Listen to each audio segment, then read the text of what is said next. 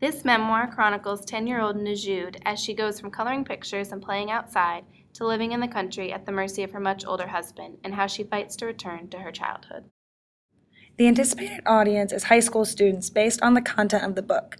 However, from readability, it could also be read by a middle school student. An example is In Khardji, the village where I was born, women are not taught how to make choices. When she was about 16, Shoya, my mother, married my father, Ali Muhammad Al Adel, without a word of protest. And when he decided four years later to enlarge the family by choosing a second wife, my mother obediently accepted his decision. It was, this, it was with that same resignation that I at first agreed to my marriage, without realizing what was at stake. At my age, you don't ask yourself many questions. This text could potentially be used in the classroom as it is made to be discussed, but due to sensitive material, you would need clearance or approval.